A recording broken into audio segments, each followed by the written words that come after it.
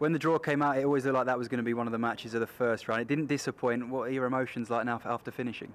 Whew, I'm just glad to get through it. To be honest, you know, I knew from the start it was going to be a tough game. When the, you know, it doesn't matter who you draw anyway, but every every game is going to be tough. But when I drew Kim, I thought it's a tough game. I just need to practice well and get myself ready, and you know, I've come through. In terms of performance, though, are you happy with the way you played up there?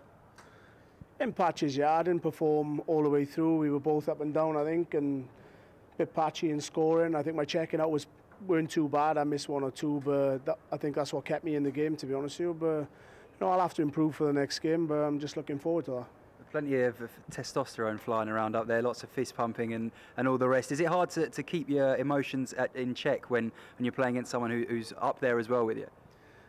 I suppose so. Sometimes, yeah. You know, it's it's just it's after you've give the fist pump and maybe if it's your throw first, you just gotta slow down a little bit. But I like it when people do it against me. It makes me do a little bit more against them. So, you know, it's just part of the game. And I know Kim does it all the time. I do it all the time, and I'm just glad I come through when I give the last fist bump.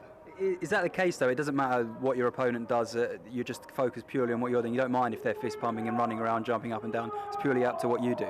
No, I can't control their darts. They can't control mine. I can't control their emotions, and they can't control mine either. And you know, if they hit a 180 or a big shot out, they, they deserve to give a fist pump. And if I'm going to do it, if I hit a big shot, I'm going to do it myself.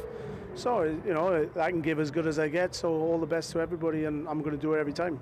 Now, potentially, it could be Adrian Lewis up next in the second round.